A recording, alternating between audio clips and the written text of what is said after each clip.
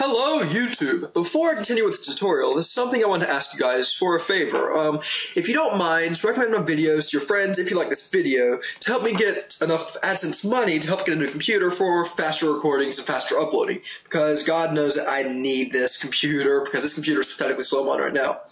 So with that said, let's get started with what I wanted to show you. So in this tutorial, I'm going to be showing you how to install the SDK, or Android SDK and NDK for GameMaker to actually make it where you can use it. So for this, we'll be needing the BlueStacks emulator, which I'll be having links to everything you need uh, need in the uh, description of this video. But we'll be needing the BlueStacks Android emulator, the ADT Android bundle, um, and the Android NDT R8 uh, downloads. Alright, so once you download these, first thing you want to do is install the emulator. This emulator is what we're, what we're going to be using to test our games on. So after installing the emulator, then we want to go and start installing the SDKs for that we're going to be using for the game. So I've already got them extracted and installed already, but I'm going to show you how to install them. So first, let's do the NDK. The NDK is pretty simple on installing it. I'm going to open up the folder.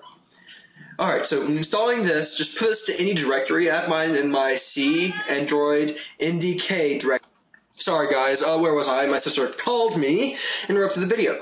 Um, anyways, the NDK. So I'm not sure exactly what this stands for, but I know you need this for GameMaker in order to be able to export to Android with. And you don't really have to worry about license if you're just testing with the emulator. You don't have to worry about license until after you go to actually publish the game. So if you're making the game, don't need to worry about it until then. So first things first, let's go ahead and get our NDK directory after extracting it. You don't have to do anything else, just extract it. Then just copy the link. Then let's go to our game we want to set up the NDK, uh, SDK for. Go to File, Preferences, then select the Android tab. Alright, now where it says Android NDK location, I've already got mine pasted there.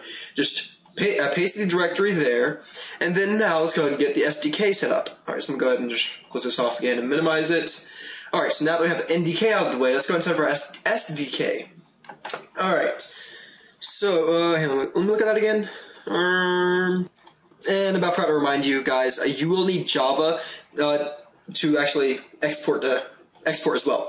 So now let's get our SDK set up. So go to our where we extracted our SDK ADT bundle right here. Go to wherever you extracted it and launch the SDK manager. You go and run it. It'll take a little while for it to actually start up, so give it a few moments, guys.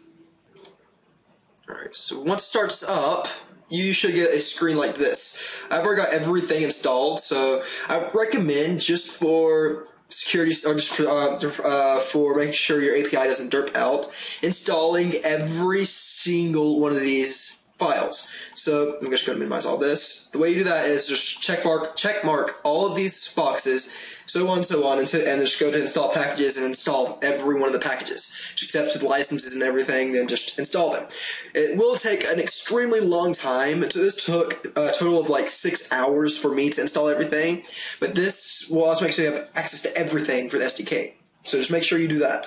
Now, after installing, after doing that, you will get or go inside your SDK SDK folder right here and copy its directory. Then go back to your game go back to File, Preferences, and the Android tab, and paste the, S, uh, the SDK directory up here. Then just check the Android SDK and Android NDK to make sure they're all right. So both mine are, all okay, are okay. So now that's pretty much it for setting it up, because it should also automatically get the uh, Java JDK directory as well. If you don't, just go ahead and get that directory. Mine's just in my program files, the default location. Um, and yeah, you don't have to worry about the key store until you go to actually publish. I have, I have, that's the default key store I'm using right now. So yeah. All right. So now that's out of the way. Let's go ahead and look at our emulator. Let me go ahead and just minimize this. Blah blah blah. Uh, once you install it, you should come to a screen like this. Uh, this will take a few moments for it to load, so yeah, give this some time as well. Then I'm going to show you how to actually test your GameMaker game with this. To make sure, before you start up GameMaker, you have this launched, so you should test directly on this. So let me go ahead and restart my GameMaker real fast, alright? So give me a few seconds, guys. Just go ahead and just, yeah, shut that off. Oh, while I was waiting for GameMaker to load, um, the BlueStacks has loaded. So let's see what the main menu looks like so you can see it for yourself. And, and once it's all up and loaded, you should get come to a menu similar to this. It's actually how mine looks. So yeah. Um, don't worry, you don't need a file browser or anything like that installed. You just use the regular version that you got. Uh, forget about this. It's something that game GameMaker, the Yo-Yo Runner, something GameMaker automatically installed whenever you want to use this. So you don't really need to have that installed. Um, so let's go ahead and back, open back up our uh, GameMaker project. Um, Alright, so we have our project open. Just go and close off that. Now, just make sure you have the Android uh, target selected. If you just try uh, running it first as the Android YYC, that will actually give it a lot of errors. So don't use that for your first launch. So just go ahead and choose this version and first, before we do this, so we know, that we know it works, just create a simple object with a sprite. So right here, new, 32 by 32. Uh, right here. And L. Do do do do do. Oops. There, close enough. Smiley face. Alright, so let's go and center this just for the heck of it. I don't know, just OCD if I don't. Lol. Alright, just make an object, give it the sprite, and make a room, put the object in the room. So, let's go do that real fast. And by the way, if you haven't guessed, I'm using the Master Edition of GameMaker, so that's why I have access to everything. Okay, so now let's go do a test launch with the game. So I'm going to pause the video while it, it does a compile, so yeah. And it's almost done compiling, so yeah, uh, in a moment it will actually automatically start up on your Android emulator. And there we go. As you can see, it's starting up on my Android emulator, and you should a command prompt something like this. Which don't worry about that. That's not giving any errors. It's showing you the compile log for the uh, Android emulator.